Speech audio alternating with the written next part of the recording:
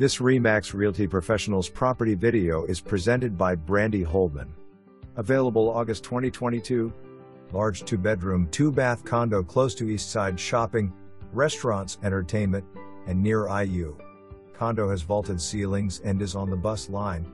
Open living room and kitchen with sliding glass door to 11 by 8 screened porch. All appliances are included. The dishwasher, refrigerator with ice maker, and above the stove microwave oven. There is also a stacked washer, dryer unit. The one car attached garage has a garage door opener as well as a programmable keypad outside. Also, Complex has two swimming pools.